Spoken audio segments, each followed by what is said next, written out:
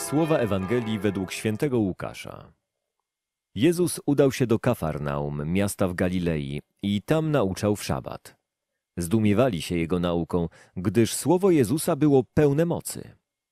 A był w synagodze człowiek, który miał w sobie ducha nieczystego.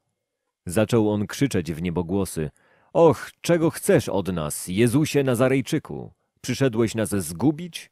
Wiem, kto jesteś, święty Boży. Lecz Jezus rozkazał mu surowo: Milcz i wyjdź z niego. Wtedy zły duch rzucił go na środek i wyszedł z niego, nie wyrządzając mu żadnej szkody. Wprawiło to wszystkich w zdumienie i mówili między sobą: Cóż to za słowo? Z władzą i mocą rozkazuje nawet duchom nieczystym i wychodzą. I wieść o nim rozchodziła się wszędzie po okolicy. Z Nazaretu Jezus udaje się do Kafarnał. Od tego momentu to Kafarnał staje się jego domem.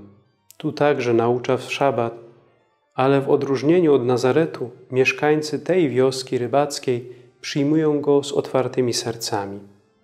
Tutaj, w domu Szymona Piotra, będzie miał schronienie i dach nad głową.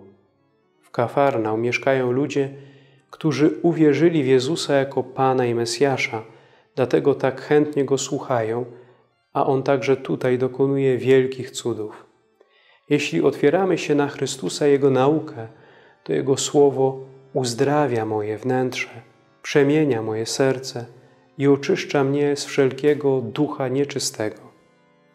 Potrzebujemy Chrystusa, potrzebujemy karmić się Jego Słowem. On jest nam potrzebny bardziej niż chleb i woda dla naszego ciała. Zrozumieć to to pierwszy krok na drodze do zbawienia. Mieszkańcy Nazaretu odrzucili Jezusa. Mieszkańcy Kafarnał go przyjęli. A ja? Przyjąłem już Jezusa jako mojego Pana i Zbawiciela. Oddałem Jemu stery swojego życia –